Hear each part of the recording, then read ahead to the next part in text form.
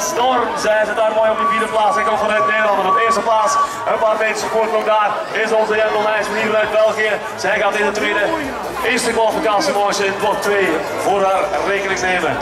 Race 82 zitten we hier. En dan zien jullie de dame met het nummer WO005 is uh, Salma Ros.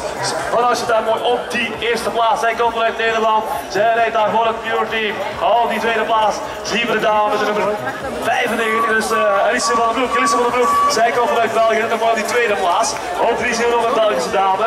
En dat is dame van hier vanuit uh, zelfs. En dat is Laura Driessen. Zij zijn er mooi op drie.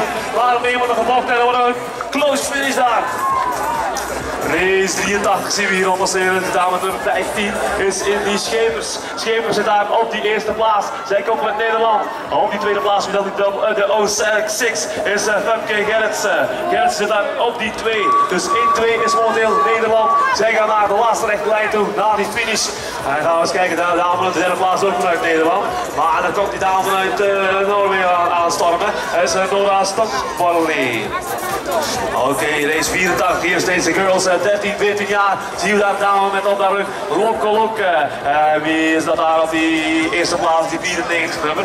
Bax, uh, Joyce Bax op de eerste plaats.